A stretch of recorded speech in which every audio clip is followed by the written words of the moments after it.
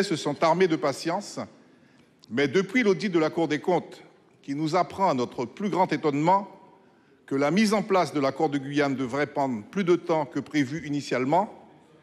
et depuis le discours de politique générale du Premier ministre, qui n'en fait aucunement mention, des questions se posent quant au respect des engagements pris. Alors, monsieur le sénateur, le gouvernement euh, va honorer sa parole et va euh, respecter la signature de l'État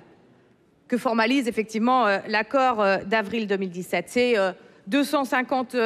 mesures, certaines bien sûr urgentes, et puis d'autres qui seront des réponses à plus long terme, comme surtout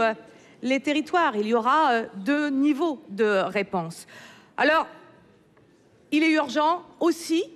très rapidement de réunir, et c'est ce que je vais faire mardi, le 11 juillet euh, prochain, le comité national de suivi des accords de Guyane afin de faire un point précis sur l'avancement de toutes ces mesures. Et puis j'ai souhaité ensuite que nous puissions euh, nous voir, les quatre parlementaires, euh, le président de région, mais aussi